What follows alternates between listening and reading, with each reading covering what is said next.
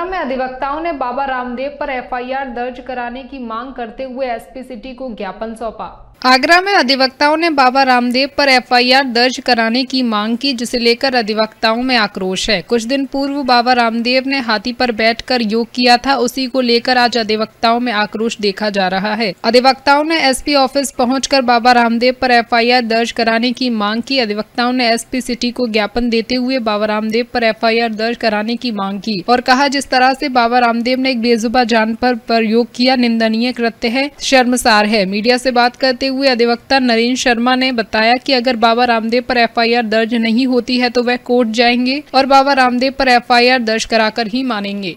अमन गुप्ता आगरा समाचार 24 शर्मा एडवोकेट आगरा। जी आज यहाँ पर बाबा रामदेव ने हाथी पर चढ़कर जो योगा किया था वो पशु क्रूरता अधिनियम पशु अत्याचार जो किया है उन्होंने उसके लिए हमने थाने में 27 तारीख को एफआईआर कराने के लिए कहा था। एफआईआर नहीं हुई, नहीं, हमारे पास कोई एफआईआर से संबंधित सूचना आई।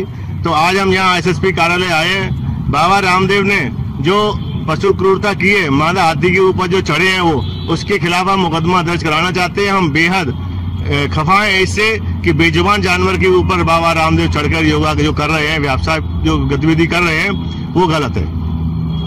और ये जो बाबा रामदेव जो मैसेज देना चाहते हैं, वो मैसेज गलत देना चाहते हैं। हम लोग उनकी योग की क्रियाओं को देखकर उनमें, उनको अमल करते हैं। लेकिन बाबा हमको क्या हाथी पर और शेर पर चढ़ना सिखा रहे हैं? कोई अगर आदमी चढ़ता है, गिर जाता है तो क्या जिम्मेदार बाबा रामदेव होंगे?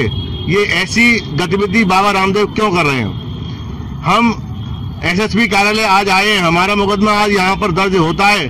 तो ठीक है, अन्यथा हम अदालत जाएँगे और बाबा रामदेव को बिल्कुल नहीं छोड़ेंगे।